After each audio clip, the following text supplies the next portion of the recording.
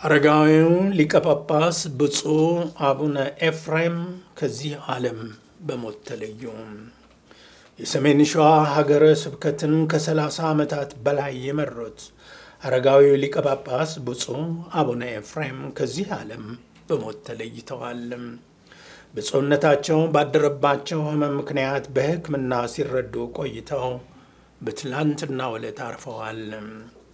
በሦስተኛው ፓትርያርክ ብፁዕ ቅዱስ አቡነ ተክለ ሃይማኖት አምብሮተ ጥር 14 ቀን 1972 ዓ ም ከተሾሙት 15 ብፁዓን አባቶች አንዱ የሆኑት ብፁዕ አቡነ ኤፍሬም እስከ እርግና ዘመናቸው ከቆዩበት ደብረ ብርሃን ቀደም ብለው ባርሲና በመቀለ ሀገረ ስብከት ተመድበው ጉልህ አገልግሎት ማበረከታቸውን ከኢትዮጵያ ኦርቶዶክስ ተዋሕዶ ቤተ ክርስቲያን ያገኘነው መረጃ ያመለክታል።